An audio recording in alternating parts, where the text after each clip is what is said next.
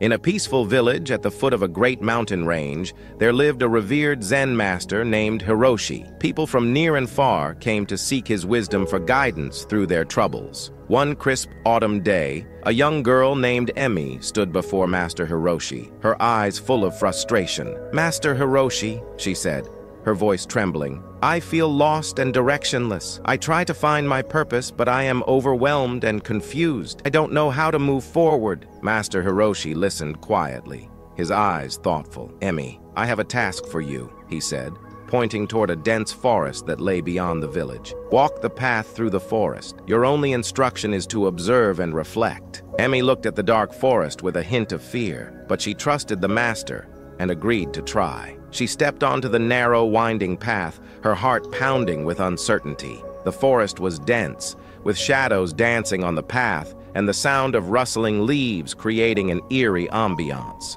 As she walked, Emmy faced various challenges muddy trails, fallen branches, and steep inclines. Each obstacle tested her resolve. She felt discouraged, wondering if she would ever find her way or if the forest was merely a trap. But she remembered Master Hiroshi's words and continued, focusing on the sights and sounds around her. Days passed, and Emmy's weariness grew. She trudged through the forest, noticing the subtle beauty in the intricate patterns of the leaves, the way the sunlight filtered through the canopy, and the quiet strength of the ancient trees. Despite the difficulties, she pressed on, finding moments of calm and reflection. One late afternoon, as the sun began to set, Emi stumbled upon a hidden clearing. In the center stood a magnificent old tree with golden leaves that shimmered in the fading light. The view from the clearing revealed a serene valley with a sparkling lake and rolling hills bathed in twilight. Emmy sat beneath the tree, overwhelmed by a sense of peace she had never felt before. She realized that the struggles she had faced on the path were not in vain. They had led her to this moment of profound beauty and clarity. When she returned to Master Hiroshi,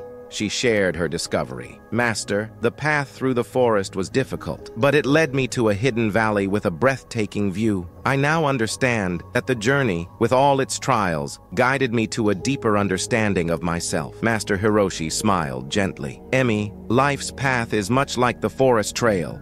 It is through perseverance and reflection during our struggles that we find the hidden beauty and purpose. Emi left with a renewed spirit, inspired by the lesson that life's true purpose is revealed through the journey, not just the destination. The tale of Emmy and the hidden valley spread through the village, teaching others to embrace their own paths with patience and to seek meaning in the journey itself. Subscribe to our channel for more motivational insights to help you achieve success in your life.